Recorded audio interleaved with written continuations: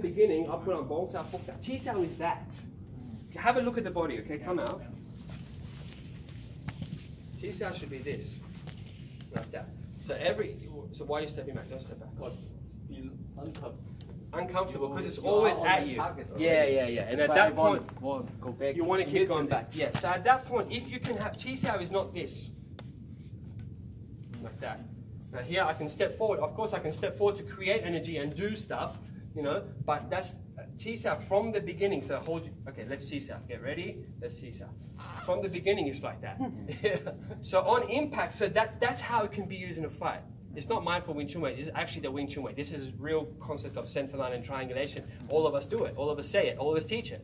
But it's really like that. That's the most efficient way to triangulate your energy forward. Not just to look triangle and just look with your eyes. Really, you're triangulate your energy and your mass forward. And by interception, you're already touching like that. So at the point of contact, as you're coming in, if you can have that all in and against a, uh, uh, you know, continuous punch, you intercept like that and you go beast mode as, as much as them, you match it, but you're coming with this engine, theoretically, there's more chance of you coming out on top. But it has to be trial and tested. You know, maybe someone can do it. Uh, we have a lot of um, cameras on, but I don't care because it's a fact. But we have a lot of teachers in this lineage that are very powerful. Like you hold their arm, they can boom, boom like that. But as soon as you chi sao or let alone sparring, it goes to shit. It goes out the door. They can only they've only trained themselves to do it with one thing because they haven't pressure tested it.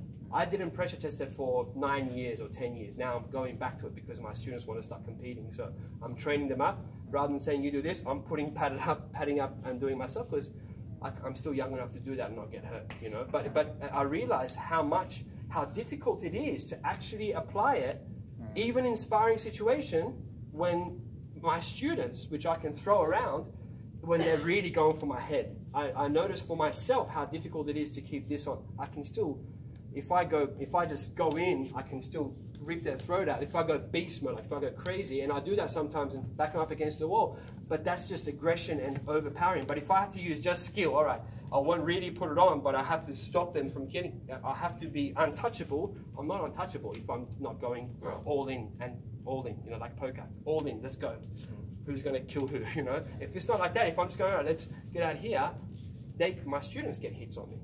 So that makes me, hold on, something's wrong. They can't really hit me in Chisao, but they can hit me in sparring. I need to do more sparring, mm. you know. So Yeah. this, if you're honest with yourself and you put yourself out there and you ask your students or your training partner to really go for it, a lot of things starts to get exposed. Could I ask one last question? Sure. I hope it's.